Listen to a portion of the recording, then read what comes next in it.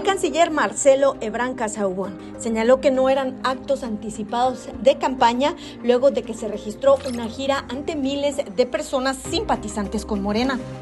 Y es que durante la mañana se reunió con empresarios. Después presentó su libro ante organismos civiles para finalizar con un mitin político ante miles de personas en el Museo del Trompo este tipo de actos anticipados de campaña.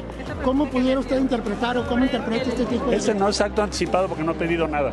Sí, la alcaldesa es una gran amiga. Nos hicimos muy cercanos en función del trabajo.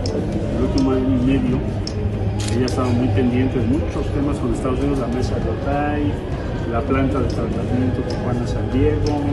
Eh, ahora me pidió que le presentara, que yo en Washington la postulación de Tijuana para que forme parte del programa que encabeza el doctor Gupta, eh, allá en Estados Unidos que lleva todo el tema de elecciones, eh, muy cercano al presidente Biden. Entonces Tijuana ya fue admitida en ese programa.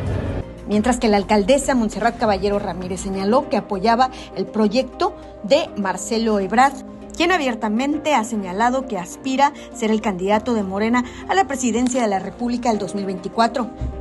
Bueno, pues muy contenta, muy contenta por varias cuestiones. Es importante, eh, para mí es importante realzar lo que ha hecho cada uno de los, de los candidatos, cada uno de las corcholatas, realzar.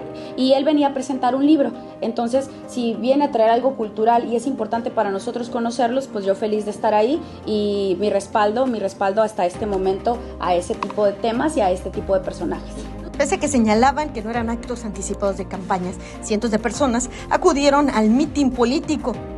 Sin embargo, dijeron que no pidieron el voto, por ello no consideraban que se tratara de ello. Con imagen de Lordan García y edición de Tania Hernández informó para Notizona MX, redefiniendo la información. Ana Lilia Ramírez.